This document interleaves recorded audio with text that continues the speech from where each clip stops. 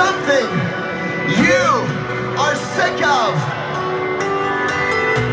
Maybe it's depression, loneliness, abuse, addiction.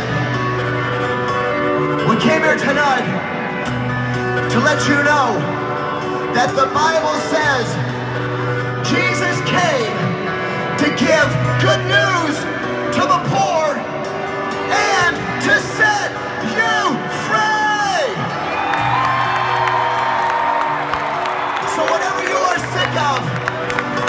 in your hands to Jesus. Raise your hands if you're sick, if you're sick of it. Raise your hands if you're sick, if you're sick of it. Raise your hands if you're sick, if you're sick of it. Raise Raise your hands if you're sick, if you're sick of it.